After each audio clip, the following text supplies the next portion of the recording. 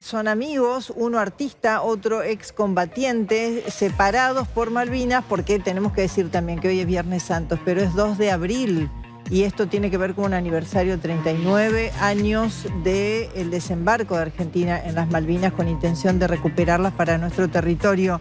Eh, y de eso se trata, de una historia que reúne a un excombatiente, a un artista, dos amigos, separados por Malvinas pero unidos por el arte. Pero de eso nos va a contar, porque está con ellos, Darío Lopreite. ¿Dónde estás y con quién? Contanos, Darío, ¿cómo te va?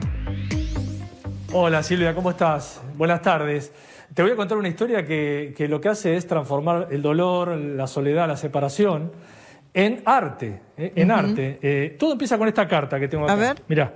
Esta es la carta que, que Martín, el, concripto, el soldado, le manda a Javier, el artista. Quiero que veas este detalle porque es este es el original de la carta. ¿eh? Mirá la fecha.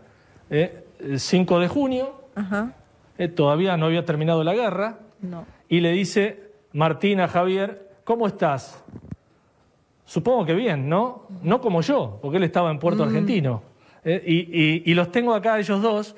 Eh, y esta carta está acá, mira, está transformada. La recibió Javier entonces. De Javier. Claro, la recibió. No, la carta la, carta la recibió, eh, la recibió en, aquel momento, pero pasó la historia, ¿no? Pasó la guerra, pasaron las vidas de, Javier y de Martín, y hace un par de años Javier empieza a revolver entre sus recuerdos y encuentra esto, ¿no? Tal cual, exactamente. Un día estaba viendo fotos, ordenando, ¿viste cómo lo agarro esto? Y bueno, veo, veo la foto de la, esta, la carta de Martín y realmente me pareció algo muy impresionante porque ni siquiera yo me acordaba de, haberla recibido, digamos, no me acordaba después de casi 48 años, ¿no? 30 y pico de años.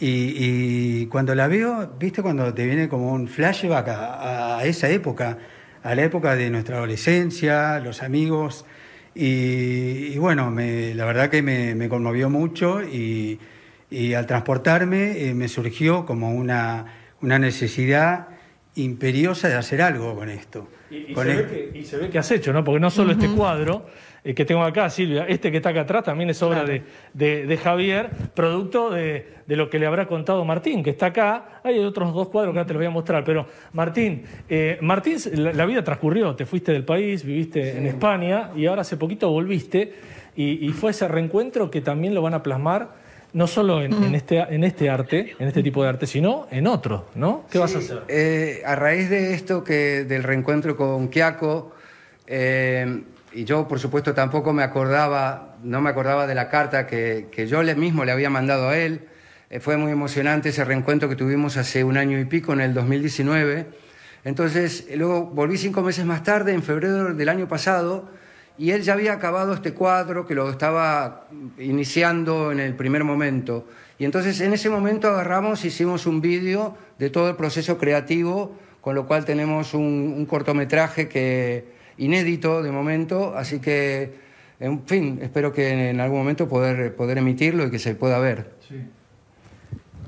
A ver, ¿perdimos contacto, Silvia? No, no, para nada, los estamos escuchando muy atentamente. Perdí retorno. Yo no nada. Ah, entonces eh, nos perdió Darío, pero el tema es que se sigue multiplicando, se sigue multiplicando el arte, entonces ahora hay un corto, además de los cuadros y, el reencuentro de ellos, ¿no? Lo más importante. Eh, eh, mirá lo que son estas obras, ¿eh? Javier, yo no sé cuánto tiempo te tomó hacer esto. mirá este soldado, qué, qué, orgullo, ¿no? qué, representación. Este, a raíz de, esta, del encuentro de esta carta, eh, principalmente lo que me surgió es como una necesidad de empatía eh, ante quienes estuvieron en, la guerra, eh, ante quienes realmente pusieron el pecho. ¿no? Mm. Me, me, interesó sus historias, principalmente la historia de mi amigo Martín. Y bueno, esta empatía de alguna manera busca, buscaba luego de tantos años de incomprensión, porque solamente puede saber lo que es una guerra alguien que estuvo. Exactamente. Y, bueno, esta necesidad de, en su momento éramos muy chicos, adolescentes, eh, donde Martín en realidad no era un militar ni era un soldado, sino que era un conscripto, un, civil militarizado, ¿no? Y le tocó sufrir esta guerra Y él cuando volvió eh, no lo comprendimos mucho, la verdad, no, eh, solo él podía saber por lo que había pasado. Y, bueno, luego de tantos años eh, y luego de la maduración de nuestra, me surgió esta necesidad de hacer como catarsis a través del arte.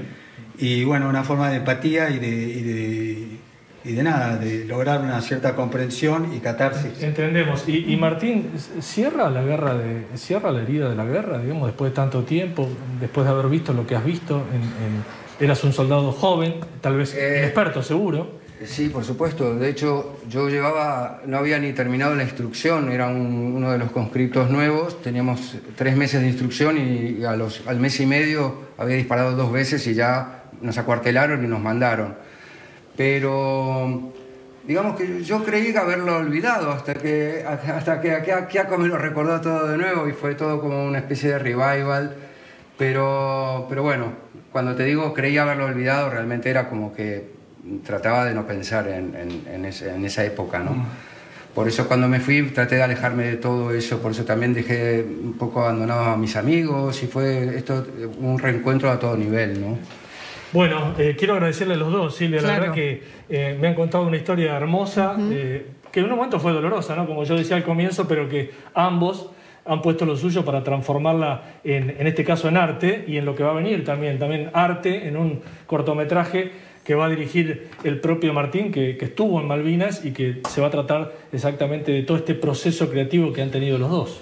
Lindísima historia, saludos y gracias a los dos por compartir eh, justamente esta historia con nosotros que, nos pone en perspectiva de cómo se puede un momento tan doloroso, sobre todo para, para Martín, convertirlo, este, eh, reconvertirlo ¿no? en, una, en una expectativa de hacer cosas, de compartir también con su amigo. Lindísima historia. Gracias a los tres, Darío.